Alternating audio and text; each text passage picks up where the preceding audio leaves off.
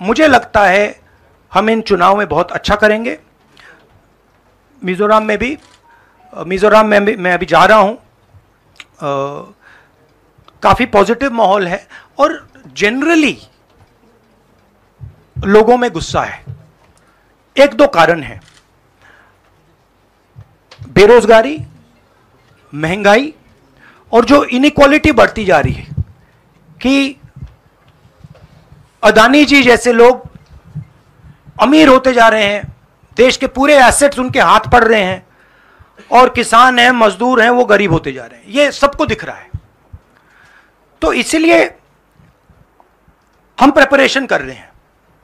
Caste census हमारा foundation है। मगर जो राजस्थान में इन्होंने हेल्थ केयर के लिए किया, वो हम नेशनल लेवल पे करने की सोच रहे हैं। जो किसानों के लिए ये कर रहे हैं जो इनका सोशल सिक्योरिटी का स्ट्रक्चर है, वो हम इसको नेशनल लेवल पे इंप्लीमेंट करने की प्लानिंग कर रहे हैं।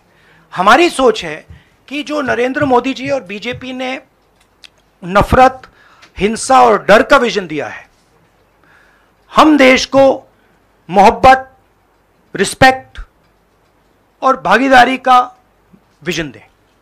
और मुझे लग रहा है कि देश का जो मूड है, वो बिल्कुल बदल चुका है। और ये बात अभी बीजेपी वालों को समझ नहीं आई है, मगर कुछ ही दिनों में उनको आस्ते आस्ते ये बात समझ आ जाएगी कि जो उन्होंने देश के साथ किया है, जो उन्होंने नफरत फैलाई है, जो उन्होंने इंस्टीट्यूशंस पर आक्रमण किया है, लोगों को डराया है, धमकाया है, नफरत फैलाई है, वो इस देश को अच्छा नहीं लगा है।